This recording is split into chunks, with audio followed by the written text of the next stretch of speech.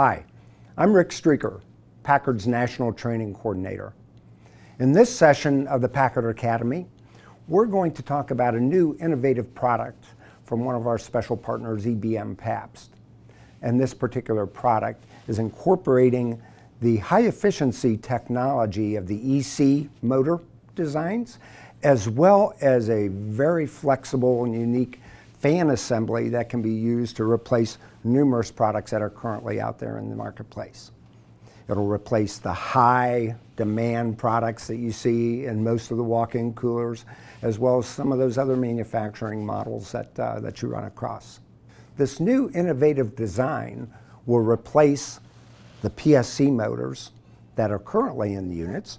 There are also some ECM that are currently in units.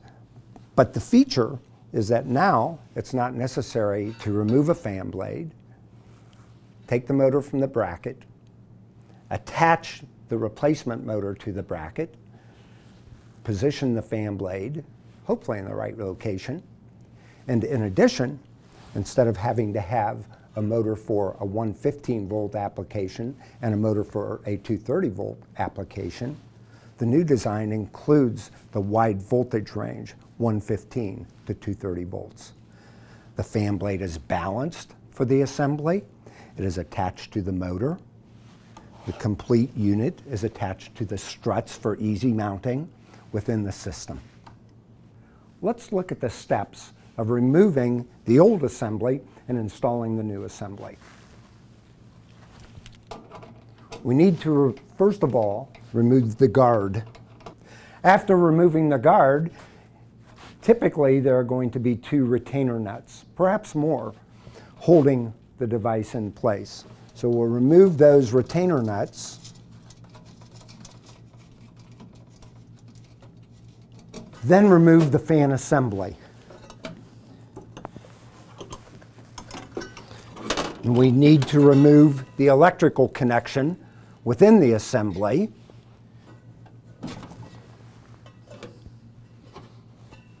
And the unit is removed. The new assembly is self-contained. All the components are on this assembly and positioned appropriately for the unit. So now I can recycle this entire component. For the installation of the new fan assembly, the first step will be to insert the power cord securely into the connector. Once that's installed, we can then insert the fan assembly.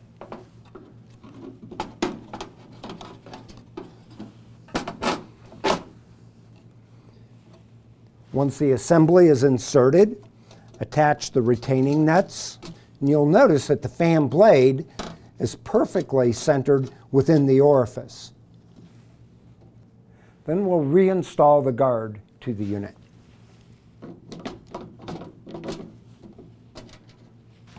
And our project's complete. The only tools that we needed for the new installation were these two.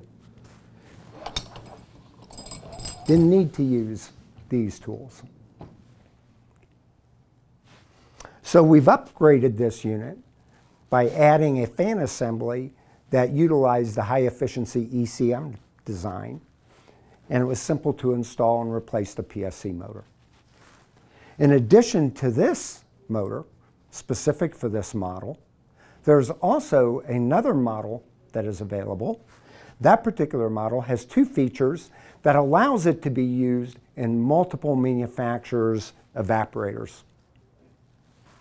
The features on the second model, first of all, we have multiple mounting configurations that would allow this to be mounted with different mount holes in the, the manufacturer's evaporator. The second important feature is that prior to installation, a selection of up to 10 speeds is available on the unit so that it can be custom fitted for that manufacturer's application. Just by simply popping off the back cover to the switch allows you access to set the speed, again before installation, for the particular application. This demonstration is showing a comparison between the PSC motor that is currently used in some of these applications versus the EC motor that can be used as a replacement. You can see the difference between the input power that the EC motor requires much less wattage in comparison to the PSC motor for providing the same airflow.